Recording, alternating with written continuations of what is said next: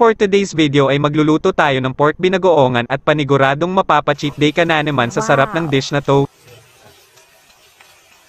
Sear lang muna natin ang karne na hiniwa sa maliliit, haluin hanggang sa magmantika at maging golden brown ang kulay. Pagkatapos sa mantika ng baboy ay sunod natin lutuin ang mga gulay. Igisa ang sibuyas,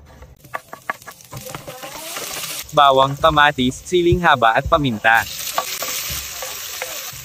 Paggisado na ang kamatis sa kailagay ang bagoong alamang, lagyan ng kaunting patis pampalasa.